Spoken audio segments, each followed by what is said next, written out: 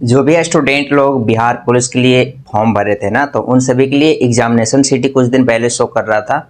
और साथ में बताया गया था कि जिनका भी एग्जामिनेशन सिटी शो कर रहा है तो उन सभी का जो एग्ज़ाम होगा ना एग्ज़ाम के लिए आपको सात अगस्त से स्टार्टिंग है, जिसमें आपको एग्ज़ाम से सात दिन पहले आपको एडमिट कार्ड डाउनलोड होगा। तो आज है इकतीस जुलाई, आज इकतीस जुलाई को बिहार पुलिस का एडमिट कार्ड जो है जारी कर दिया गया है।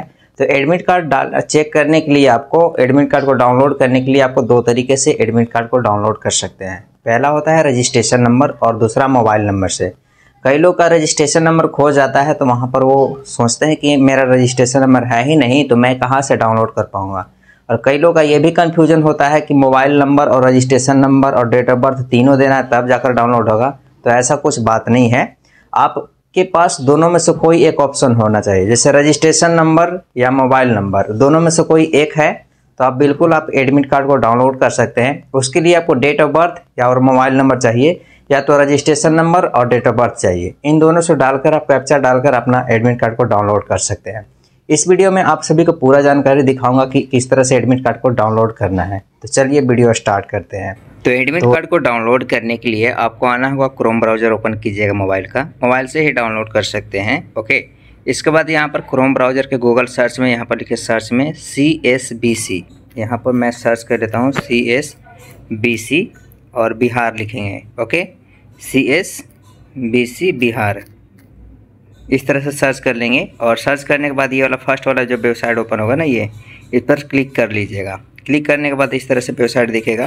थ्री डॉट पर क्लिक करके यहाँ पर डेस्कटॉप साइड भी कर लीजिएगा ना तो आपको सही तरीक़ा से वेबसाइट शो होंगे, जो आपको इस तरह से देखने को मिल रहे हैं। तो यहाँ पर आपको लिखा हुआ है बिहार पुलिस ऊपर में फ़र्स्ट में रेड कलर वाला में, ठीक है? और सबसे ऊपर में लिखा हुआ है, ग्यारह सात दो हज़ार चौबीस इंपॉर्टेंट नोटिस क्लिक है to download E admit card exam details okay तो इस वाला पर क्लिक कर लीजिएगा सबसे ऊपर वाला पर, ठीक है? और यहाँ पर ओके कीजिएगा। और ओके करने के बाद इस तरह से वेबसाइट ओपन होंगे। और यहाँ पर लिखा हुआ है एक एडमिट कार्ड और लिखा हुआ download admit card, written exam admit card, okay? इस पर क्लिक कीजिएगा। क्लिक करते ही आपको इस तरह से वेबसाइट ओपन होंगे।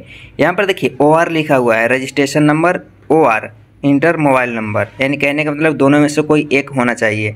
कोई भी एक होगा तो आप डेट ऑफ़ बर्थ डाल के, ये वाला कैप्चर डाल के यहाँ पर सबमिट करके एडमिट कार्ड को डाउनलोड कर सकते हैं, ओके? मेरे पास यहाँ पर रजिस्ट्रेशन नंबर नहीं मिल रहा है, मेरे पास मोबाइल नंबर है और डेट ऑफ़ बर्थ है और यहाँ पर कैप्चा डाल के ये वाला और सबमिट करके यहाँ पर डाउनलोड कर लूँगा एडमिट कार्ड को। और जिनके पास रजिस्ट्रेशन नंबर होगा तो रजिस्ट्रेशन नंबर केवल डालेंगे और डेट ऑफ़ बर्थ केवल डालेंगे और कैप्चा डाल के सबमिट करके डाउनलोड कर सकते हैं।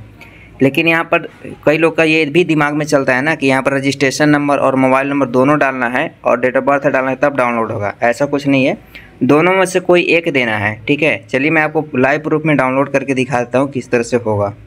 तो यहाँ पर आप देख पा रहे हो कि मैंने यहाँ पर रजिस्ट्रेशन नंबर को नहीं डाला है और यहाँ पर केवल मोबाइल नंबर डाला है डेट ऑफ़ बर्थ केवल डाला है और कैप्चा डाल दिया है। यहाँ पर सबमिट का सेक्शन जो दिख रहा है ना, इस पर क्लिक करूँगा मैं ओके क्लिक करते हैं यहाँ पर लिखा है रिटर्न डिटेल्स एग्ज़ाम डिटेल्स यहाँ पर रजिस्ट्रेशन नंबर भी शो कर देगा ओके और you can download admit card from ग्यारह आठ दो हज़ार चौबीस को। इनका एग्ज़ाम है अठारह तारीख को, इसलिए इनका एग्जामिनेशन का जो एडमिट कार्ड है ना, ग्यारह तारीख को डाउनलोड होगा, बारह बजे से ओके और जिनका मतलब पहले सात तारीख के एग्ज़ाम होगा ना, उनका आज एडमिट कार्ड डाउनलोड होगा, जो यहाँ पर दिखाया गया। उनका नाम रहेगा और जिस डेट में आपको एग्ज़ाम रहेगा इस एग्ज़ाम डेट और जो एग्ज़ाम सिटी है, एग्ज़ाम सिटी शो करेगा, कितना बजे से रिपोर्टिंग टाइम है वो दिखाएगा, ठीक है?